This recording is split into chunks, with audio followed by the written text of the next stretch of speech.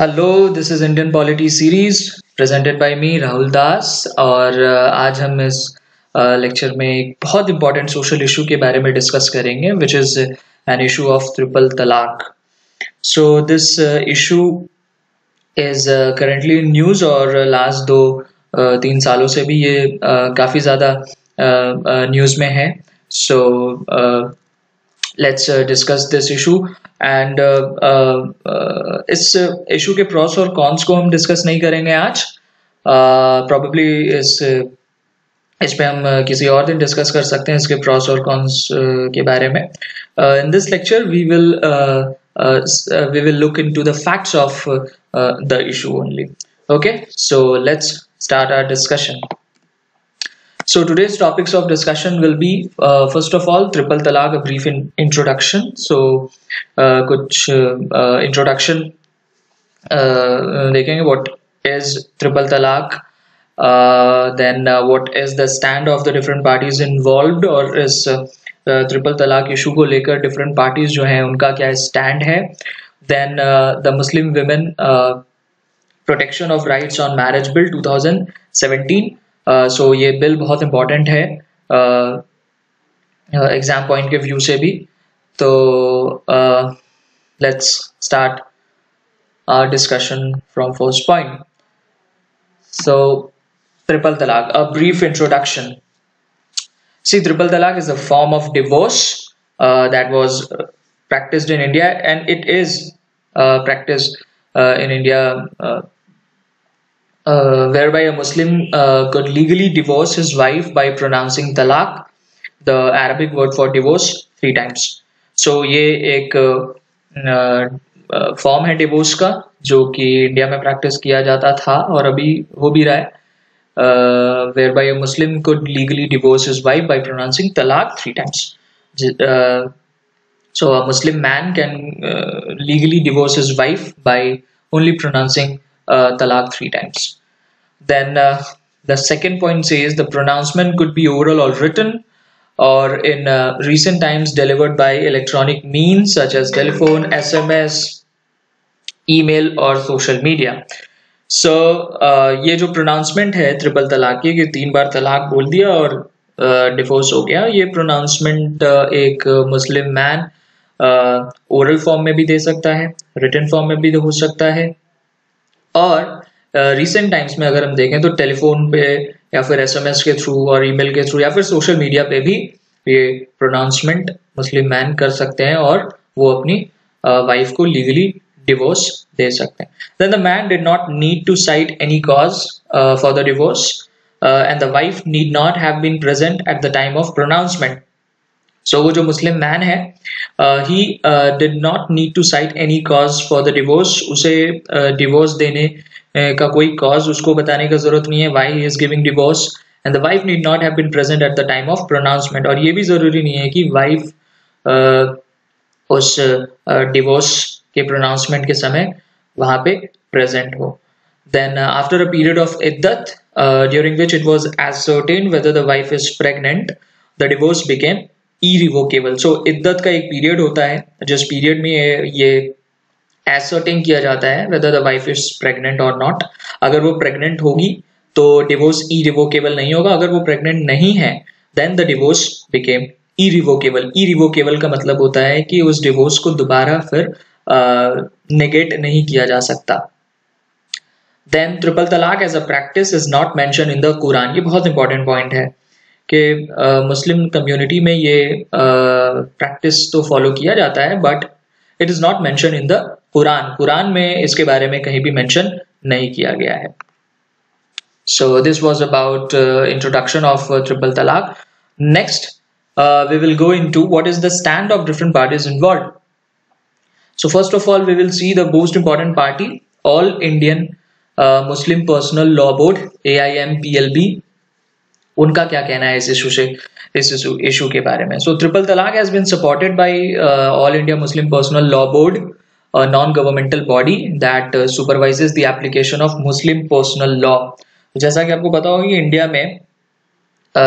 Criminal uh, law तो uh, uh, एक है चाहे वो कोई भी रिलीजन हो किस हर रिलीजन से बिलोंग करने वाले लोगों के लिए क्रिमिनल लॉ तो एक है बट जो सिविल लॉज हैं सिविल लॉज जैसे related to marriage related to guardianship of child ये जो सिविल लॉज हैं ये डिफरेंट डिफरेंट रिलीजन्स के डिफरेंट डिफरेंट हैं. बट हिंदू सिविल लॉ को कोडिफाई कर दिया गया है by Hindu Marriage Act and several other acts but Muslim civil law जो है वो अभी तक कोडिफाई नहीं किया गया है और वो लोग अभी भी शारिया लॉ को फॉलो करते हैं. सो so, ये जो मुस्लिम पर्सनल लॉ है uh, उस उसको उसको सुपरवाइज करना उसका एप्लीकेशन ये सारा कंट्रोल है All India Muslim Personal Law Board के कंट्रोल में। So and it is a non governmental body then it propagates the that uh, uh, state does not have the right to intervene in the religious matters. So ये ये भी propagate करता है A I M P L B के state को। यानी government को कोई राइट नहीं है रिलीजियस मैटर्स में इंटरवीन करने का। और इसके लिए वो कॉन्स्टिट्यूशन के कुछ प्रोविजंस का भी हेल्प लेते हैं कि there is right to freedom provided in our constitution so state does not have any right to intervene in the religious matters Then in April 2017, uh, citing a report prepared by Muslim Mahila Research Kendra in coordination with Sharia Committee for uh, AIMPLB has claimed that Muslims have a lower rate of divorce compared to other religious communities. So, uh, AIMPLB ने एक report uh, uh, का हवाला देते हुए अप्रैल 2017 में ये claim किया था कि मुस्लिम्स में जो रेट ऑफ़ डिवोर्स है वो काफ़ी ज़्यादा लोअर है compare to other religious communities so दो A I M P L भी बेसिकली ये कहना चाहती है कि दो भी follow triple talaq the rate of divorce is very low is actually low if we compare to other religious communities और इस तरीके से वो ट्रिपल तलाक को वो डिफेंड uh, करते हैं।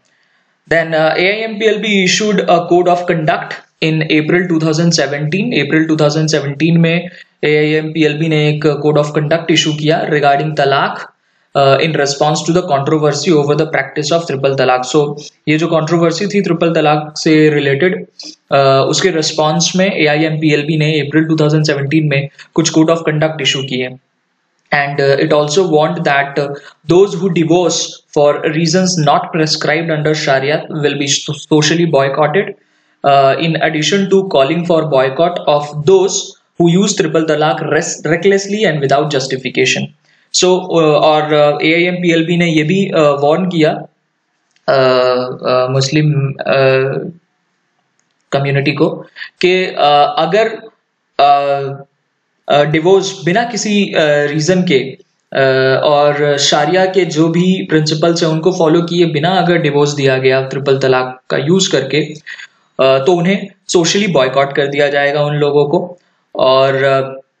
अगर रेकलेसली अगर कोई ये ट्रिपल तलाक को रेकलेसली यूज़ करता है विदाउट एनी जस्टिफिकेशन यूज़ करता है तो उसे भी बॉयकॉट कर दिया जाएगा। So this these was these some of the things which was set by All India Muslim Personal Law Board let us see the next important institution is Supreme Court verdict so supreme court का verdict भी आया 2017 में the Supreme Court in the matter of Shayara Bano versus Union of India and others and other connected matters on 22nd August 2017, in a majority judgment of 3 to 2, set aside the practice of talaq biddat, three pronouncements of talaq at one time, uh, at one and the same time, practiced by certain Muslim husbands to divorce their wives. So Supreme Court ने twenty second August 2017 को यानी इसी साल majority judgement यानी three is to two judgment के basis पे Shayara Bano versus union of India के case में ये जो तलाक बिद्दत है उसे आ, उसे उन लोगों ने वॉइड करार कर दिया। और उन लोगों ने कहा कि ये जो प्रैक्टिस है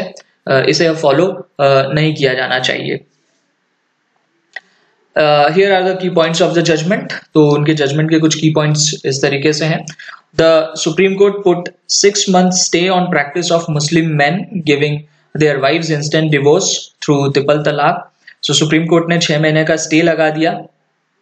इस प्रैक्टिस के ऊपर. Then Supreme Court bench has आज parliament to make a new law on triple talaq issue in six months और छह महीने के अंदर में, जब तक ये बैन है, तब तक पार्लियामेंट को एक लॉ प्रिपेयर करना पड़ेगा ट्रिपल तलाक से related if law doesn't come in force in six months then Supreme Court's injunction on triple talaq will continue और अगर लॉ छह महीने में नहीं पार्लियामेंट अगर लॉ नहीं बना पाती है छह महीने के अंदर में तो सुप्रीम कोर्ट का जो ये बैन है, ये कंटिन्यू रहेगा जब तक लॉ पास नहीं हो जाता, जब तक लॉ बन नहीं जाता ट्रिपल तलाक से related then the Supreme Court court bench refer to evolution of triple talaq in Islamic countries and asked why can't independent India get rid of it. Then Supreme Court ने अपने judgement में ये भी कहा कि बहुत सारे इस्लामिक नेशंस में जब ट्रिपल तलाक को बैन कर दिया गया है तो इंडिपेंडेंट इंडिया में हमने अभी तक इसे क्यों आ, रखा है और हम हम इसे क्यों फॉलो कर रहे हैं? Why it can't be banned in India then the Supreme Court said triple talaq violates fundamental right of Muslim women as it irrevocably ends marriage Supreme Court ने यह भी कहा कि ट्रिपल तलाक जो है, वो मुस्लिम वेमेन्स के फंडामेंटल राइट को वायलेट करती है। इसलिए इसे बैन कर देना चाहिए। इसे इंडिया में रिपब्लिक ऑफ़ इंडिया में इसे अब यूज़ नहीं करना चाहिए। सो सुप्रीम कोर्ट के वर्डिक्ट के अनुसार ये सारे पॉइंट्स हमने देखे। Next thing is the Muslim women protection of rights on marriage bill 2017 so Supreme Court ने जो कहा था यहाँ पे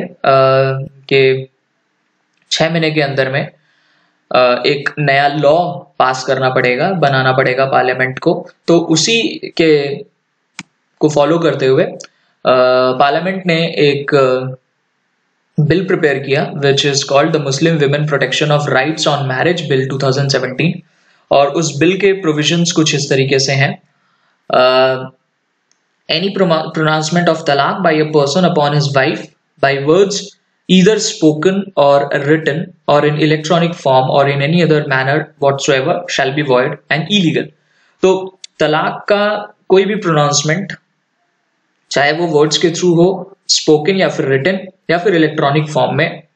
वो वॉइड होगा और इलीगल होगा then whosoever pronounces talaq upon his wife shall be punished with imprisonment for a term which may extend to three years and fine. तो जो भी इस ट्रिपल तलाक को फॉलो करता है और इसको यूज़ करते हुए तलाक प्रोनाउंस करता है अपने वाइफ पे तो उसे पनिश किया जाएगा with imprisonment for a term which may extend to three years and fine also then a married Muslim woman upon whom talaq is pronounced shall be entitled to receive from her husband such amount of subsistence allowance uh, for her and dependent children uh, as may be determined by the magistrate or married Muslim women upon whom तलाक is pronounced और एक ऐसी Muslim women जिस uh, जिसको तलाक दे दिया जा चुका है shall be entitle to receive from her husband उसे हस्बैंड अपने हस्बैंड से एक सब्सिस्टेंस अलाउंस मिलना चाहिए for her and dependent children उसके लिए, उस अपने खुद के लिए वाइफ के लिए, और उसके जो डिपेंडेंट चिल्ड्रन है, उसके लिए भी हस्बैंड को एक सब्सटेंस सब्सिस्टेंस अलाउंस पे करना पड़ेगा, और वो अलाउंस जो है, वो मैजिस्ट्रेट डिसाइड करेंगे। Then a married Muslim woman shall be entitle to custody of her minor children in the event of pronouncement of talaq by her husband in such manner as may be determined by the magistrate और अगर एक married woman married women जो है she will be entitle to the custody of a minor child अगर एक minor child है तो उसकी कस्टडी उस मुस्लिम वुमेन के पास रहेगी इस तलाक के प्रोनाउंसमेंट के बाद और ये भी डिसाइड करेंगे मैजिस्ट्रेट मतलब जिस भी मैनर में ये इस प्रोसेस को फॉलो करना है उस प्रोसेस को डिसाइड करने वाले होंगे magistrate then notwithstanding anything contained in the code of criminal procedure 1973 uh, an offense punishable under this act shall be cognizable and non-bailable within the meaning of the said code और ये जो offence है triple talaq का it shall be punishable under this act under this act shall be cognizable ये जो offence है ये एक कॉग्निजेबल ऑफेंस होगा और एक नॉन बेलेबल ऑफेंस होगा मतलब इस ऑफेंस uh, में अगर अरेस्ट कर लिया जाता है हस्बैंड को तो उसे बेल नहीं मिल सकती। It is a cognizable and non bailable offence so these are the provisions of the bill which has not yet been passed by the parliament so it is in the parliament and it has not yet been passed it has not become an act so it is a bill so thank you. You can uh, also visit my facebook page for uh, other study materials. The link is given here. So इस lecture uh, में हमने basically triple talaq issue के जितने भी facts थे issues थे उसे हमने कंसीडर किया। प्रॉबेबली किसी दूसरे लेक्चर में हम इसके प्रॉस और कॉन्स को डिस्कस करेंगे या फिर आप इस वीडियो के कमेंट सेक्शन में आप आपकी जो व्यूज़ हैं इस इशू से रिलेटेड उसे आप शेयर कर सकते हैं। So do comment like and share the video thank you have a great day